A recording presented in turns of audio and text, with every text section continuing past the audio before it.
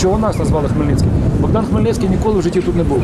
Навколо кружляв, але в нас ніколи не був. Так, екскурсію центром Хмельницького розпочинає екскурсовод Ігор Байдак. Проводить її для вимушених переселенців. Такий формат розробив для дорослих. Раніше знайомив з історією міста і дітей. Діти віджили, діти можна сказати, діти стали знову дітьми, такими як вони розповідали про свій клас, про свою школу, скільки учнів, що їм подобається. Ігор Байдак каже, після цього організували й екскурсію для батьків. Серед локацій, які їм покажуть, є об'єкти архітектури, також пам'ятник Тарасу Шевченку і воїнам, які загинули на території інших держав. Сучасна архітектура, роботи Миколи Мазура, е, пам'ятник воїнам, черепаха бажань.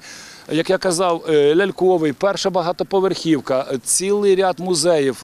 Ігор Байдак розповідає, екскурсії проводять безкоштовно. Через війну маршрут пролягає поблизу укриттів. Ходимо так, особливо коли це діти, щоб не, не далі ніж 50 метрів було бомбосховище. Ну, звичайно, формат для дорослих буде дещо змінений. Це, по-перше, буде трошки довше за часом. Екскурсія раз довша за відстанню два. Е, з вживанням ненормативної лексики. Ну такий тренд сьогодні.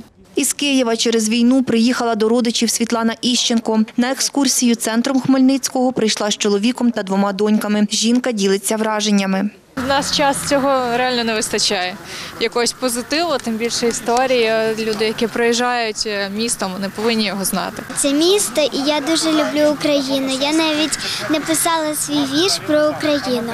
Україна чарівна країна, вона квітуча і солов'їна, вона загорнута в бабусину казку, зігріта сонцем і Божою ласкою. Організовувати екскурсії для вимушених переселенців допомагає екскурсовод із Києва Юлія Бевзенко. За її словами, такий проєкт світовий, бо проходить у містах, куди українці переїхали через війну. Прийшла ідея показувати е, те місто, в якому перебувають вимушено дітки з родинами під час війни. Всі трішки сумнівалися, гіди, чи це якби доречно проводити екскурсії, гуляти зараз під час війни. Але що робити? Діти ні в чому не винні, їх трішки відволікти. Екскурсії для вимушених переселенців, каже Ігор Байдак, планують проводити тричі на тиждень. Після перемоги їх організовуватимуть і за містом. Вікторія Мельник, Віктор Кривий. Новини на Суспільному. Хмельницький.